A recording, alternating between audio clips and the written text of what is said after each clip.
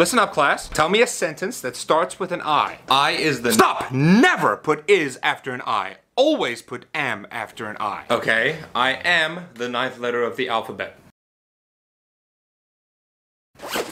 Excuse me, can you tell me why you're packing your books away? The bell's about to ring. No, no, get your books out. There's still 24 seconds left of class. Let me guess. The bell does not dismiss us, you dismiss us. Wow, you finally got something right this year. Ooh, got him!